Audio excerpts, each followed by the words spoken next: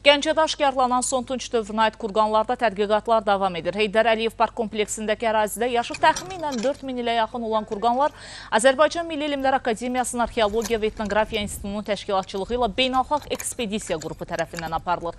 2015-ci ildən başlanılan tədqiqatlar zamanı şəhər ərazisində ümumilikdə 62 kurqan qeydə alınıb. Həmin kurqanlardan 4-ü bu il Arxeologiya və Etnografiya İnstitutunun qərarı ilə elmi tədqiqata cəlb edilib. Araşdırmalar kurqanların dörtkünc və oval formada olduğu, kameraların ağac tirlərlə örtüldüyü, üzərində isə çay daşlarının düzüldüyünü müəyyənləşdirilib. 1-1,4 metr dərinliyində olan qəbirlərdən insan sümükləri, son tunç dövrünə aid müxtəlif təyinatlı və formalı saxsı qab nümunələri, tunç asma bəzək əşyaları, kiçik ölçülü tunç düymələr, tunç və əqiq muncuqlar, vulkanik mənşəli ə, obsidiandan hazırlanan oxuculuqları, daş topbuz kimi nümunələr aşkarlanıb.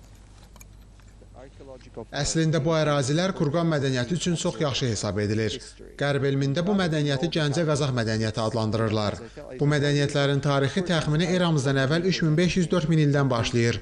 Bizim məqsədimiz müxtəlif dövrlərdən olan kurqanları öyrənməkdir. Buradan əldə olunan eksponatlar Avropanın tanınan elmi mərkəzlərində bilgi araşdırılacaq. mütəxəssis alimlərin də qeyd etdiyi kimi bu qurğanlar xalqın o mübarizəsində, tarixində mühüm rol oynamış insanların e, qurğanlarıdır. Onlara həsr olunan qurğanlardır və bunlar say etibarı ilə çoxdur.